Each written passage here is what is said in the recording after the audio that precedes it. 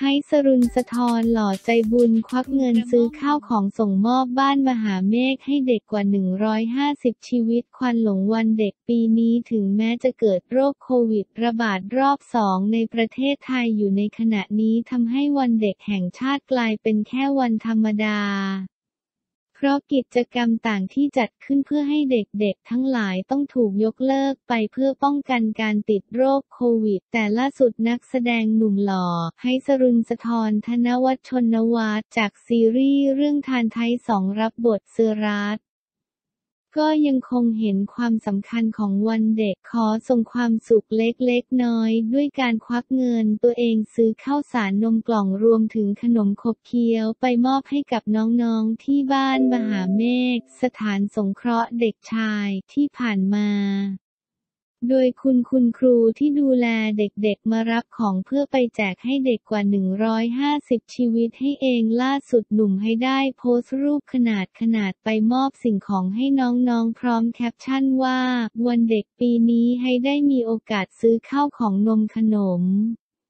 ไปมอบให้น้องๆที่บ้านมหาเมฆสถานสงเคราะห์เด็กชาย สุขสันต์วันเด็กแห่งชาติจะครับทุกคนให้อิสรุนสาทรหายไลฟ์เรียกได้หล่อแล้วใจบุญต้องยกให้กับหนุ่มให้สรุนสะทรคนนี้ไปครองแบบนี้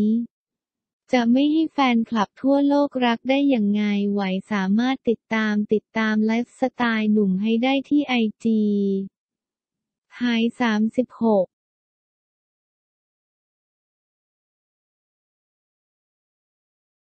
ร่วมอนุโมทนาบุญบุ๋มปนัดดาถวายอาหารเพนสังฆทานและทำบุญเลี้ยงวันเกิดหลังมีอายุครบรอบ 44 ปีเรียกได้ว่าก่อนหน้านี้สาวบุ๋มปนัดดานั้นเลี้ยงขนมแจกของแด่น้องๆสถาบันราชานุกูล เนื่องในโอกาสใกล้วันเด็กและวันเกิดอายุครบรอบ 44 ปี โดยเธอนั้นได้ระบุข้อความว่าเนื่องในโอกาสใกล้วันเด็กและวันเกิด 10 มาของบุ๋มในนามองค์กรทำดีเลยขอเลี้ยงขนมแจกของเล่นและแอลกอฮอล์เจลให้น้องๆ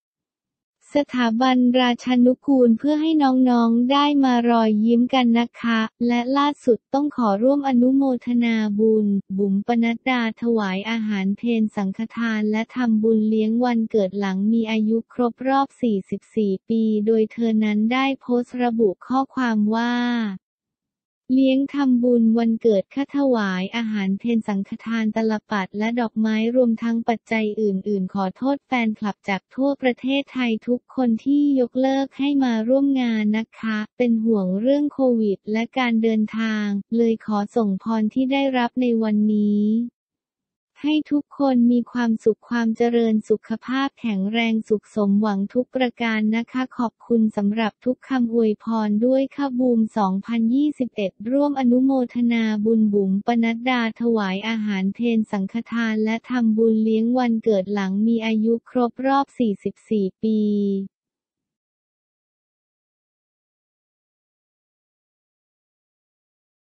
ชื่นชมนเดชคูกิมิยะรับอุปการะเด็กสองคนส่งเสียให้เรียนหนังสือมากว่า 8 ปีเป็นพระเอกทั้งในจอและนอกจอจริง ๆสำหรับหนุ่มนเดชคูกิมิยะที่ล่าสุดแม่แก้วสุดารัตน์คุณแม่ของนักแสดงหนุ่มได้ออกมาเผยว่า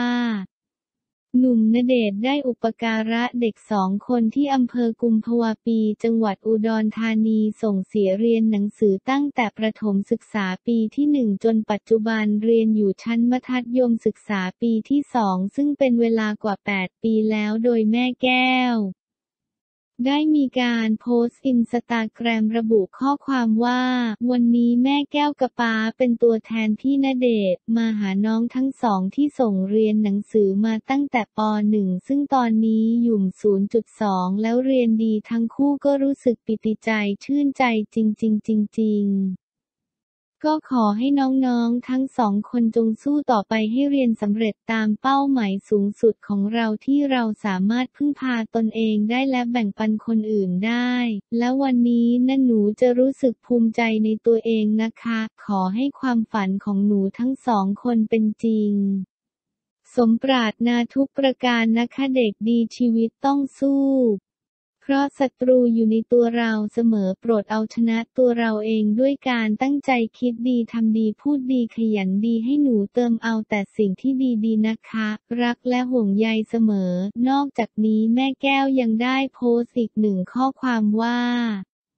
แม่เป็นตัวแทนพี่ณเดชมอบทุนการศึกษาให้แก่น้องๆนักเรียนโรงเรียนบ้านบุงหมากลาน นอกจากนี้ยังมีพี่เซงและพวงมาลัยเงินจากแม่ต่ายตอนที่ลูกกนเดชรับปริญญาก็ได้ร่วมสมทบทุนการศึกษาเพิ่ม มาอีกเป็นบุญต่อบุญ เพื่อประโยชน์แก่น้องๆ ต่อไปขออนุโมทนาสาธุกับลูกกนเดชพี่เซ็งและคณะพวงมาลัยเงินแม่ไต่บะจ่างฟามิลี่ด้วยนะคะ หลังจากที่เรื่องราวนี้มีการเผยแพร่ออกไป ได้มีผู้เข้ามาแสดงความคิดเห็นเป็นจำนวนมาก ต่างชื่นชมนักแสดงหนุ่มว่าเป็นผู้ปิดทองหลังพระช่วยเหลือน้องๆให้มีการศึกษาและอวยพรขอให้หนุ่มณเดชมีแต่ความสุขความเจริญในชีวิต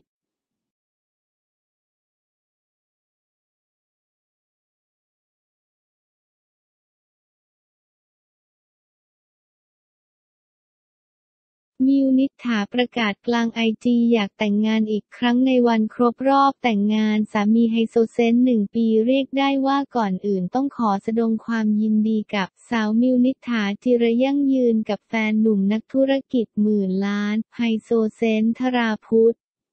คู่หาเปรมกิจที่ฉลองงานวิวาห์ ณ The Athenee Hotel Bangkok และต้องบอกว่าเป็นงานแต่งที่ยิ่งใหญ่อลังการมากสุด ราะเป็นการรวมตัวของคนดังในแวดวงธุรกิจ และคนดังจากวงการบันเทิงมารวมไว้ในที่เดียวกันมากที่สุดอีกด้วย อาทิเบลล่ารานีหมากคิม ณเดชยาย่า เจมา แต้วนัทพร เต้ยจรินพร อเล็กธีรเดช แมทพีรณี โอปอปานิสรา